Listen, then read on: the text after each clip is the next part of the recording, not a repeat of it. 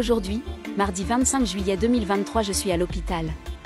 Une semaine après avoir reçu son deuxième cycle de chimiothérapie, mon corps et mon esprit se déshydratent. Je me sens vide, j'ai perdu le goût des aliments et un peu de la vie aussi.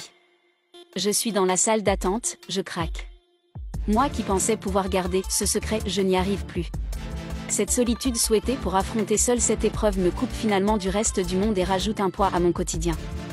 Ce quotidien ponctué par les allers-retours à l'hôpital depuis l'annonce de mon cancer du sein il y a deux mois. Un cancer du sein agressif certes, mais détecté à un stade précoce.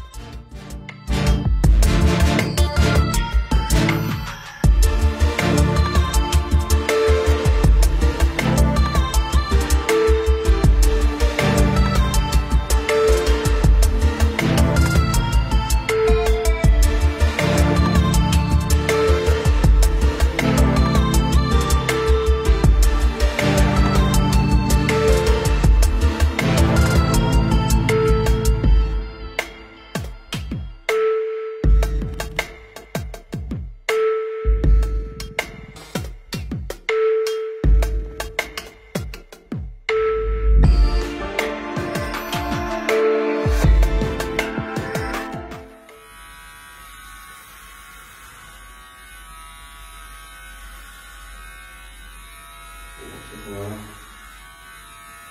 Tout va bien aussi. Tout te va, de toute façon. Oh non.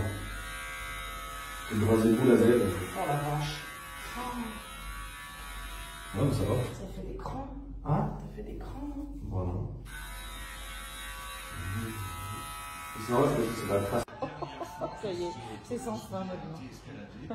C'était en 2020, lors de la fameuse étape euh, pour la Reims, remportée par euh, Tadej Pogacar, qui avait vu la longue échappée de Marc Hirschi, mais on n'avait pas escaladé le soulevé par le même versant.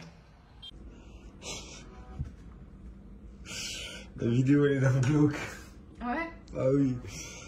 T'es là, la lumière elle est dégueulasse. euh, euh, ça te fait une tête que t'as pas du tout en vrai. Avec ta capuche noire sur la tête, chauve avec euh, tes trois perfs. On se dit la vache.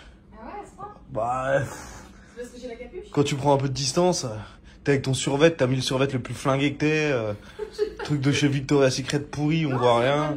On dirait que t'es toute petite et que t'es un sac.